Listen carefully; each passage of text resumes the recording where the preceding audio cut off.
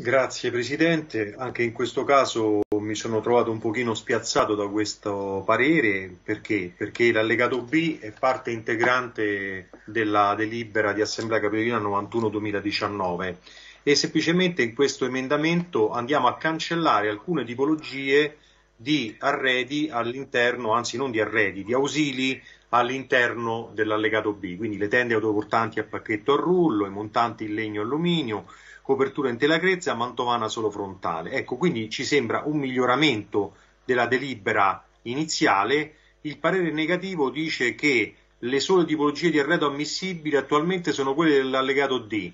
Allora, non è una tipologia di arredo, ciò che è presente nell'allegato B sono gli ausili all'arredo come le pedane, ad esempio. Quindi, però non si comprende come un eh, miglioramento dell'allegato B possa introdurre un peggioramento per, com, che porti a un parere negativo. Questo sinceramente non lo comprendiamo e riteniamo che questo emendamento invece sia molto utile per poter migliorare l'allegato e per essere ancora più conformi a quelli che sono i dettami oggi eh, imposti dagli uffici. Grazie.